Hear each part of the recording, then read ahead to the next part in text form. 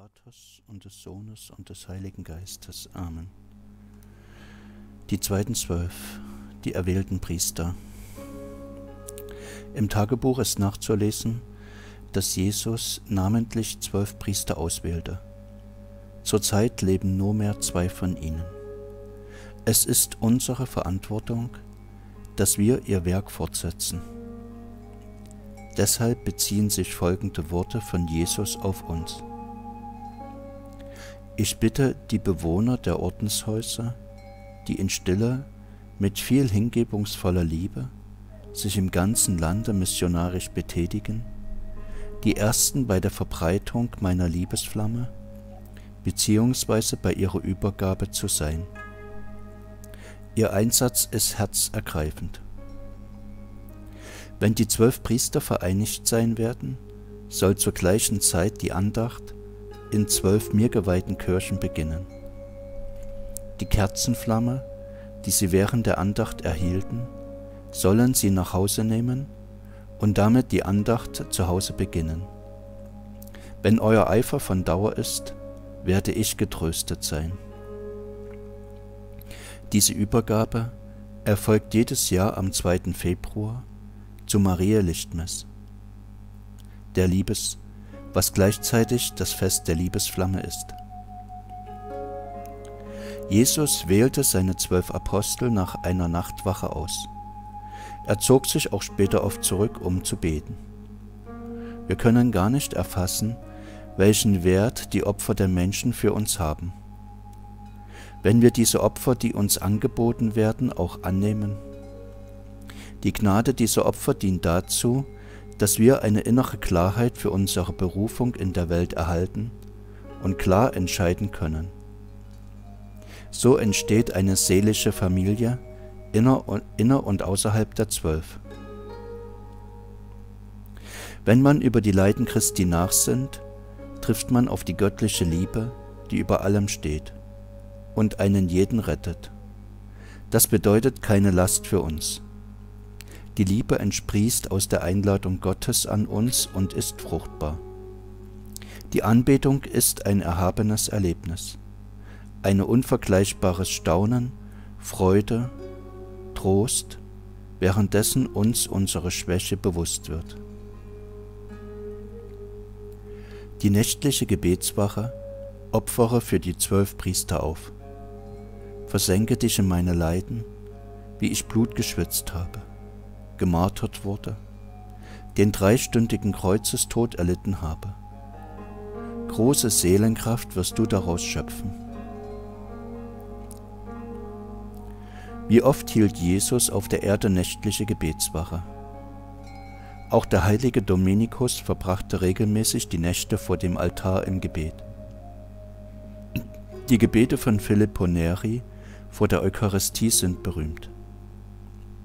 Die Schwestern von Mutter Teresa von Kalkutta beginnen ihre mühselige Arbeit erst nach einer Anbetung vor der Eucharistie. Bekannt sind auch die nächtlichen Gebetswachen von Johannes Paul II. Das alles zeugt vom Innenleben der Liebe.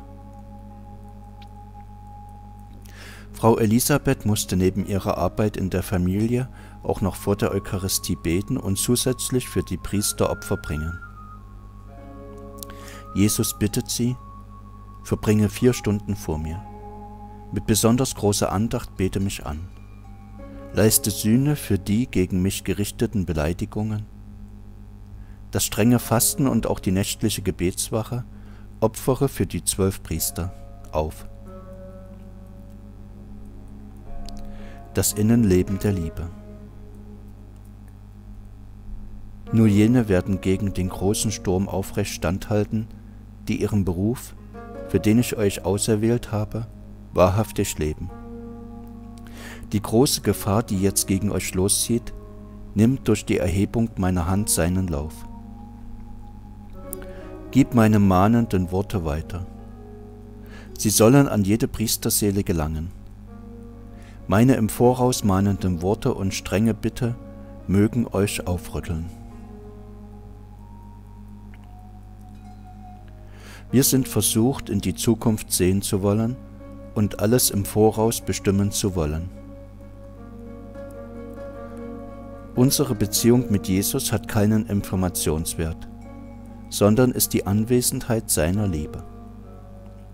Genauso lebte Jesus im Vater, in der Anwesenheit seiner Liebe, beim letzten Abendmahl und auch in den schwierigsten Phasen seines irdischen Lebens. Er litt und übergab sich uns als Opfer. Die totale Hingabe der Liebe. Die Abschnitte unseres Lebens liegen in Gottes Hand. Frau Elisabeth wurde auch von vielen Sorgen heimgesucht. Zweifel quälten mich. Ist es sicher, dass mir das alles der Herr sagte? Währenddessen gab mir der Herr einen klaren Befehl und schickte mich zu einem bestimmten Priester. Ich ging nicht hin, denn mein Beichtvater wusste von diesem Befehl, aber ich mache nichts ohne seine Einwilligung. Dieser Fall zeigt, wie wichtig seitens des Beichtvaters das Fachwissen für die Unterscheidung der Seelen ist. Andererseits zeigt es, dass Frau Elisabeth nicht nach ihrem Kopf ging, sondern ihrem Beichtvater folgte. Anderswo schreibt Frau Elisabeth in Bezug auf diesen bestimmten Priester, zu meiner großen Überraschung sah ich aber, dass der Priester zurückkam. Daraufhin war ich beruhigt. Also die Bitte stammt von der heiligen Jungfrau. Der liebe Gott kann auch schnell eingreifen und das funktioniert nicht nur auf dem Niveau der Überlegungen theologischer Wahrheiten. Die Verantwortung der Priester. Im Tagebuch steht auch, was Jesus von den Priestern erwartet. Ich finde, treffender könnte man es gar nicht formulieren. Eine große Verantwortung tragen jene Personen, die dieses Gnadenwirken unverantwortlicherweise verhindern. Die Jungfrau Maria bat Elisabeth, pflegt keine passive Haltung gegenüber meinen heiligen Anliegen. Durch die wenigen, durch die kleinen und demütigen muss dieses Ausströmen der Gnade, das die Welt erschüttern wird, beginnen. Jeder, der diese Botschaft in die Hand bekommt, nehme dies als eine Einladung an und niemand von euch möge sich darüber entrüsten oder sich entschuldigen. Ihr alle seid meine kleinen Werkzeuge. Paulus sagte über die Kleinheit, segnet eure Verfolger, segnet sie, verflucht sie nicht. Freut euch mit den Fröhlichen und weint mit den Weinenden. Seid untereinander eines Sinnes. Strebt nicht hoch hinaus, sondern bleibt demütig. Zum Anfang gebe ich euch Kraft, die trotz vieler Einwände und boshafter Hindernisse doch zur Geltung kommen wird. Für die vielen Einwände gegen unser heiliges Vorhaben von Seiten der mir Geweihten musst du viele Leiden durchstehen.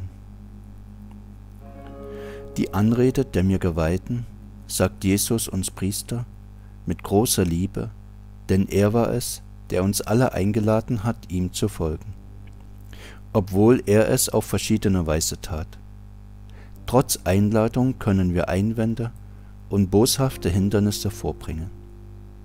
Der Herr erlebte das auch in seinem irdischen Leben und es tut ihm auch heute noch weh. Die vielen Beleidigungen schmerzen mich. Am meisten schmerzt mich, dass auch die mir geweihten Seelen mich unbeachtet lassen. Sie haben keine Zeit für mich. Die für euch zur Verfügung gestellte Zeit benützt ihr für alles Mögliche nur nicht für mich. Das ist die Wurzel des Übels.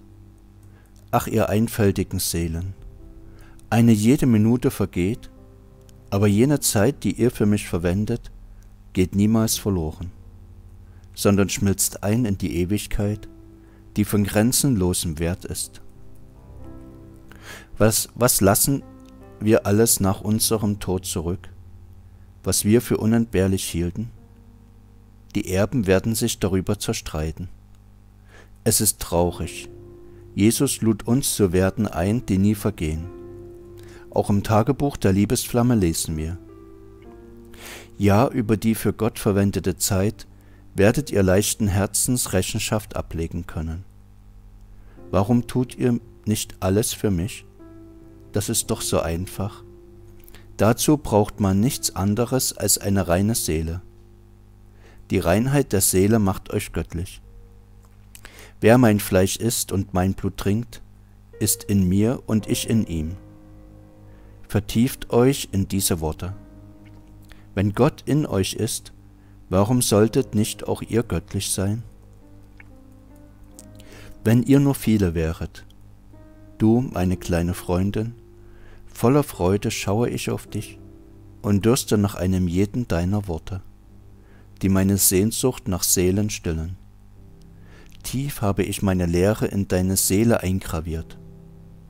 Meine Sehnsucht nach Seelen, als ich am Kreuze hing, rief ich mit lauter Stimme aus, mich dürstet. Dasselbe rufe ich euch auch heute laut zu, besonders den mir geweihten Seelen. Jeder Mensch unterscheidet sich voneinander. Was Jesus von Frau Elisabeth erwartet, macht aber für jeden Menschen deutlich, dass es die Reinheit der Seele ist, die der Rettung der Seelen dient. Mach mir keinen Kummer und nimm es nicht übel, wenn ich dich mahne. Du weißt, dass ich es liebe, wenn meine göttlichen Worte dich immer in Bereitschaft finden. Auch eine Minute ist für mich viel, die du in Gedanken anderswo verbringst. Ich helfe dir, dass nur ich und niemand anderer deine Gedanken ausfüllt. Lass nicht zu, dass auch nur ein Geschöpf, ein einziges Geschöpf uns beide trenne. Meine kleine Karmeliterin, bete den ganzen Rosenkranz und wohne einer für ihn geopferten heiligen Messe bei. So kannst du dein Versäumnis wegen körperlicher Schwäche nachholen. Die leidende Priesterseele kommt vor Gottes Angesicht. Wie oft höre ich euch aufseufzen? Oh mein Gott, leider ist das nur eine Gewohnheit.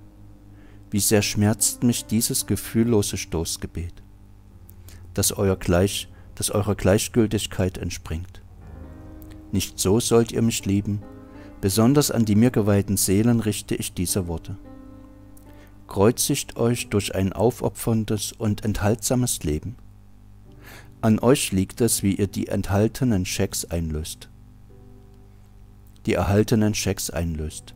Die im Gnadenstand lebende Seele kann sie überall einlösen. Der Wert ist nichts anderes als mein heiliges Blut. Die Priester und die Gläubigen, die mit Frau Elisabeth zusammen im Untergrund evangelisierten und sich in kleinen und großen Gruppen zum Beten, wie die ersten Christen trafen, teilten ihre Zeit und opferten ihr Geld und ihre Hilfsgüter für die Gemeinschaft. Sie besuchte mit ihrer Sekretärin gemeinsam regelmäßig auch die Priester auf dem Lande. Diese Besuche bedeuteten viel Freude für sie, aber sie erfuhr auch Ablehnung. Dennoch wurde sie nie müde weiterzumachen. Bevor sie auf eine Frage antwortete, betete sie immer damit bei ihr die Routine nicht Oberhand gewann. Wie wir später lesen werden, brauchte sie dazu im Hintergrund auch die Aufopferung und die Gebete der Freunde. Auch ein gewisses soziales Geschick und Feinfühligkeit benötigte sie zum Ausbau der Beziehungen. Amen. Gelobt sei Jesus Christus, in Ewigkeit Amen. Maria mit dem Kinderlieb uns allen deinen Segen gib. Amen.